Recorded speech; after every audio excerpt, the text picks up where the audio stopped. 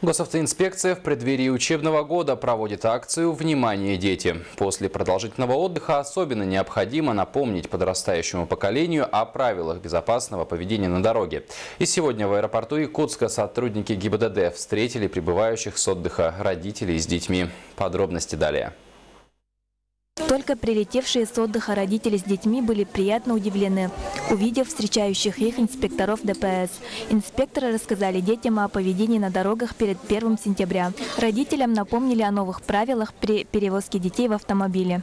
Это тебе, поздравляем тебя с наступающим днем знаний, чтобы твоя дорога в школу каждый день и обратно была безопасной. Поздравляем всех с Днем знаний. Будем соблюдать правила дорожного движения, да, дочь? Да. По статистике ГИБДД с начала года в республике зарегистрировано 117 дорожно-транспортных происшествий с участием несовершеннолетних. К сожалению, по сравнению с аналогичным периодом прошлого года отмечается рост по числу автоаварий и по количеству пострадавших детей. И мы бы очень надеялись на то, чтобы эта печальная статистика дорожных происшествий с детьми не прирастала. Юные инспектора дорожного движения также в эти дни вышли на дорогу. Воспитанники детского сада «Белоснежка» совместно с инспекторами ГИБДД провели рейдовое мероприятие «Дорога – символ жизни». Олеся? Олеся. Тоже. Также.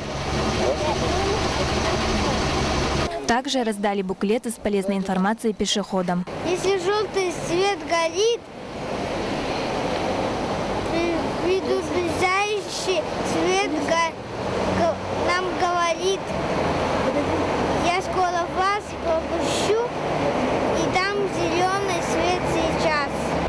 Дети – самые уязвимые участники дорожного движения. И во многом их поведение на дороге обусловлено их восприятием дорожной обстановки. Поэтому госавтоинспекция рекомендует с самого раннего возраста обучать детей правилам безопасного поведения на дороге. При этом главным учителем должен стать сам родитель, который личным примером будет показывать, как правильно вести себя на дороге. Саргалана Федорова, Гаврил Дьячков, НВК Саха, Якутск.